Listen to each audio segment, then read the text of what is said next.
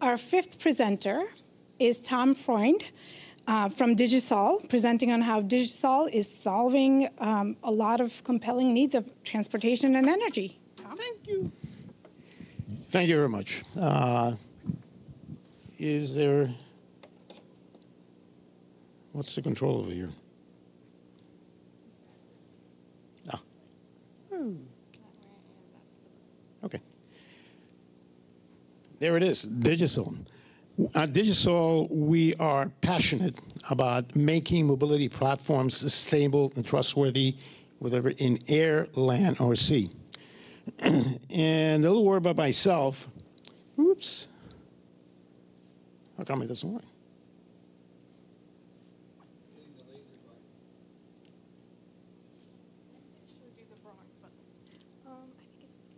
Uh, okay. A little bit about myself. Um, I bring three plus decades in aerospace related technology and manufacturing technology. And what launched Dig.y.Sol was the patent you see on the right.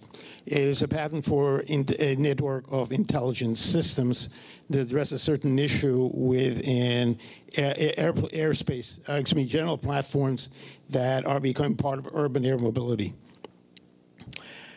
We, I'm looking, I looked at uh, insurance in the transportation in the transportation business, and uh, very interesting. Nothing much up here over here.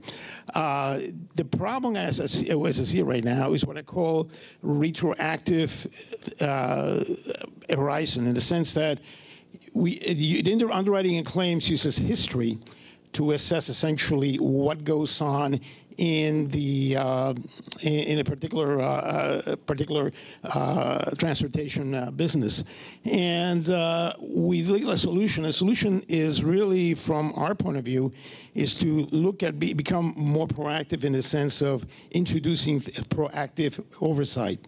And what is proactive oversight? Well, it's basically a network of intelligent nodes and the idea basically is that it has, has, individual software that knows quite a bit about little devices that are attached to a transportation network, a transportation uh, platform, as you see on the right over here. And the goal of each of these little nodes you see over here, this is the prototype version of it, uh, is to catch things early, deal with them, and keep things running. What do I mean by that?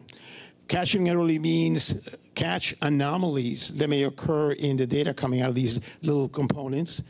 And if you see those anomaly, anomalies, trigger contingency procedures that will deal with them and try to keep th things running as best as possible. And by the way, if you happen to trigger several contingency now, several contingency uh, uh, procedures because you got several anomalies, it'll merge them intelligently. So make sure that that transition to the best, best possible way of running is smooth.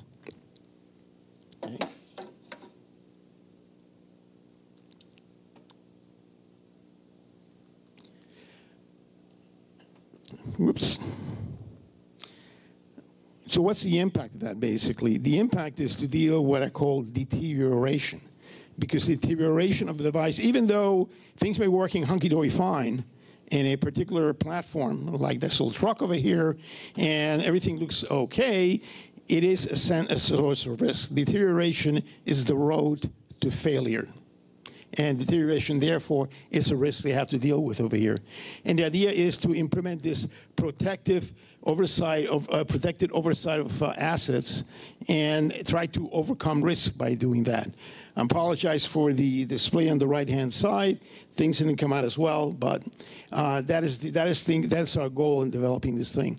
There are other areas in the insurance in insurance uh, uh, domain that could have potential application with using this capability, and one of them is smart housing, smart houses, and potentially connected health as well. What is a marketplace? This particular product sits in the marketplaces of both telematics and fleet management. As you can see over here from the figures, they're quite healthy markets in themselves and offer quite a bit of potential. What is our business model? Our business model is OEM partnerships, sorry for the spelling mistake.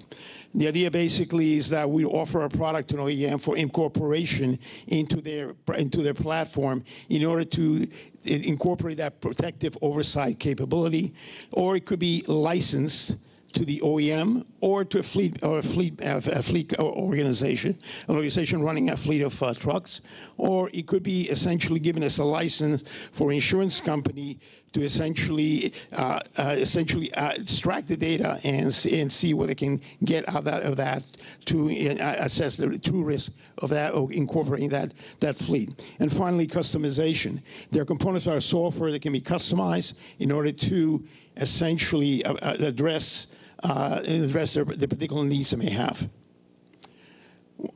What, is, what are we asking for? Because in the middle of developing the prototype, we essentially want to locate partnerships with OEMs in order for essentially have a similar environment and uh, the ability, in turn, will give him the opportunity to use an early version of our product with a better uh, deal so far as uh, terms are concerned.